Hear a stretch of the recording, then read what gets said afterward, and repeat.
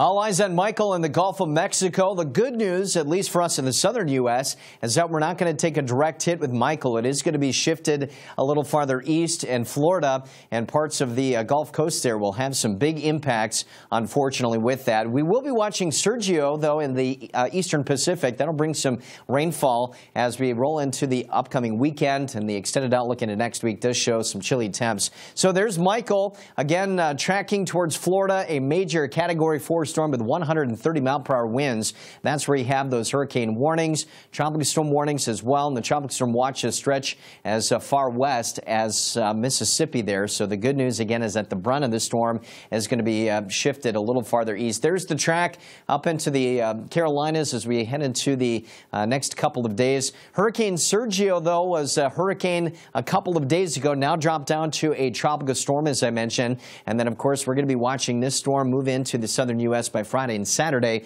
with another round of heavier rain. Yesterday was very wet. Of course, a record amount of rain falling in Dallas at two and a quarter inches, one and a half there in Little Rock. We had uh, two and a third in Kansas City, Missouri. Even some severe weather across the region, but this is how much rain we've had this uh, October, which has been very impressive. In fact, uh, almost 10 inches of rain in Kansas City and uh, now dealing with significant surpluses in a few spots so far for the year. But of course, you can see the flood concerns do continue as much rain as we've had.